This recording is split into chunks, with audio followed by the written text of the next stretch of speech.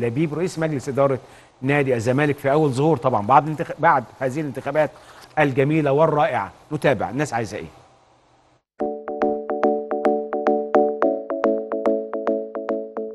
فترة عصيبة مليانة بتحديات وصعوبات كتير عدت على نادي الزمالك وبدأ عهد جديد لواحد من أهم أعمدة الرياضة المصرية.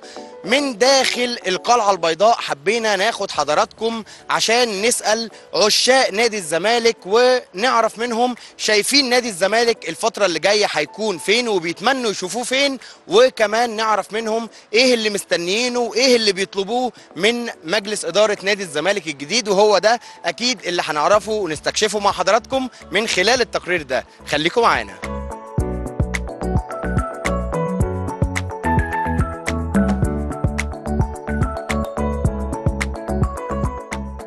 اولا حضرتك بنتمنى لهم التوفيق وبنطلب منهم حاجتين أساسيين.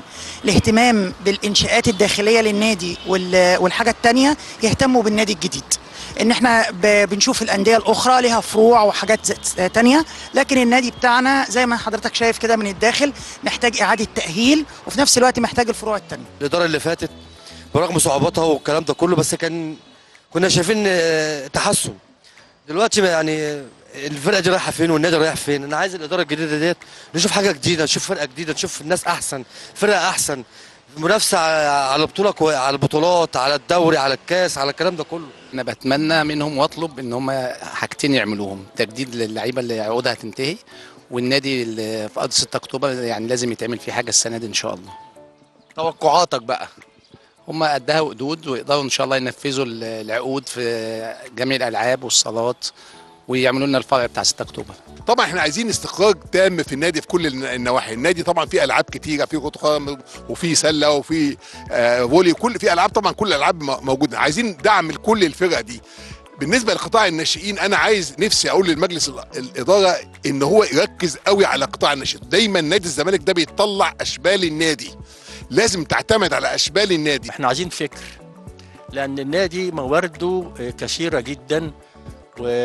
و... و... وممكن في خلال فترة زمنية وجيزة ممكن إن الايمج بتاع نادي الزمالك يرجع يعود مرة أخرى وتلاقي الناس اللي هتيجي تطالب تطالب إنها تشارك في إحياء نادي الزمالك مرة أخرى بعد سنوات الانكسار العشر سنين اللي فاتوا الانكسار إلى إن شاء الله سنوات الانتصار بإذن الله اللي إحنا طالبينه إن ممكن يتعمل عند. في جامع هنا ممكن يتعمل في عيادة وعايزين الزخانة لأن طبعا أي حد بيقع هنا ما بنلحقهوش. بالنسبة اللي هو القيد فك القيد وكل المشاكل والقضايا الكتيرة اللي على نادي الزمالك في الجهات سواء الخارجية أو الداخلية وعايزين مجلس الإدارة يبقى علاقته مع جميع الإدارات في صالح نادي الزمالك. مش عايزين نخش في مصالح شخصية ومهاترات ضد الايه النادي وضد الكيان. تبعدنا عن مصلحة النادي الأساسي. نفسنا نشوف نادي الزمالك في أحسن صورة لأن إحنا عشنا كابوس صعب جدا على كل زملكاوي وعلى جميع أعضاء العموميه ومستنيين طبعا كتير مستنيين في 6 أكتوبر ومستنيين نشوف الزمالك في حتة في بالذات في الكورة عشان ده مطلب جماهيري كل الناس. ال- الحاجة اللي بطلبها طبعا إنه أعضاء مجلس الإدارة وكلهم ناس يعني ما شاء الله ناس محترمين وناس يعني مثقفين. يعني عايزهم على طول يبقوا مع ال- مع الأعضاء على طول يعني يعرفوا شكوى الأعضاء. ده اللي هيطلع النادي لفوق. إنما أنت تبقى قافل على نفسك ال ال ال الغرف المغلقة وأنتوا حاسين إنكم أنتوا بتعملوا كل حاجة لوحدكم. لا. أتمنى اولا التوفيق لمجلس الاداره الجديد آه، الاهتمام بفريق الكوره آه، تدوير الأنشطة شوية الموجودة يزود من الن- النشاطات اللي جوه النادي و... وربنا يوفقه يعني إن شاء الله. ويتقدم في الدوري كمان. والله أتمنى إن هو يرجع يعني اللي هو يكتسح القارة تاني تمام؟ ويرجع إن هو ينافس محليا دايما يعني. دوري بقى وكاس وأفريقيا إن هو خزينة النادي ترجع تاني تبقى دايما عاملة بالبطولات يعني. املنا كبير في مجلس الإدارة الجديد. الاستقرار يعود للنادي. ال- ال- الأعضاء كلها تحب بعض. مفيش آه، انقسامات ولا عنصرية ولا بتاع وأول حاجة العماله تاخد حقها وياخد المرتب في ميعادها. وتنظيم العمالة.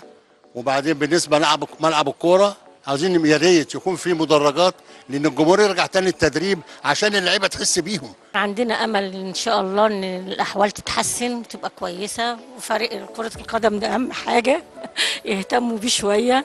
ولو في تعاقدات جديدة يكون أحسن. أتمنى يعني يكون في بطولات وحاجات زي زمان دي كلها ترجع تاني والنادي يكون زي الأول خالص خالص زي ما كان قديم قوي غير بقى زمان الفترات اللي فاتت دي كلها ويكون مجلس الإدارة يكون معانا كويس وكل حاجة و...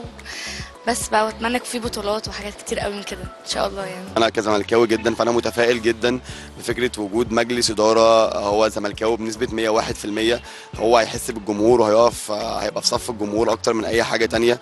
آه، طبعا أكيد بتمنى إن هو أول حاجة يبص عليها هي متطلبات الجمهور وإن هو يسمع للجمهور كويس جدا. مصطفى الشيمي لبرنامج على مسؤوليتي.